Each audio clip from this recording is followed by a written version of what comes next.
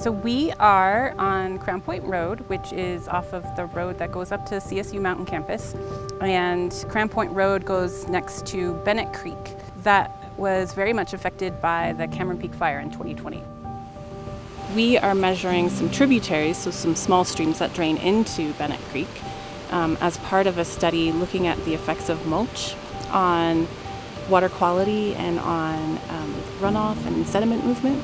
And so we've been tracking how these streams have responded after the fire. We are collecting some data, um, so we're going to certain sensors and downloading the sensors, and then we're also going to change out some batteries in the cameras that observe the streams.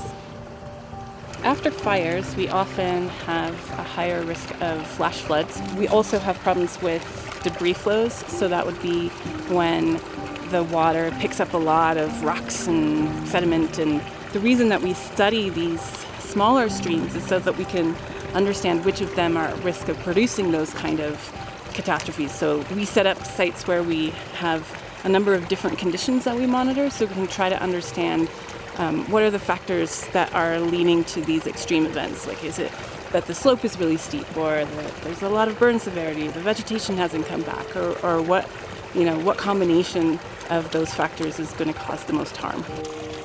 So I am downloading um, the camera data and kind of correlate it to if we see a rise in water in the um, stream tracker.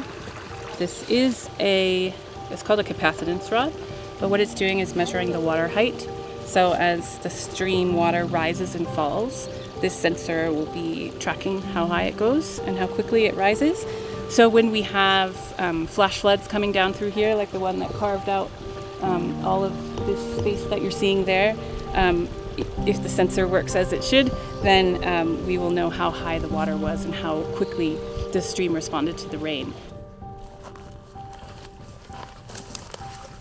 we thought, you know, after 2012, the High Park fire was was huge, right? But this fire is almost twice as big, and I mean, it's it, especially when it was first burned, it was hard to take in just to see this landscape that you love just totally burned. Um, it is it's really shocking when you walk around, and in every direction there's something that's burned. Yeah, let's head that way. I think that that's more correct.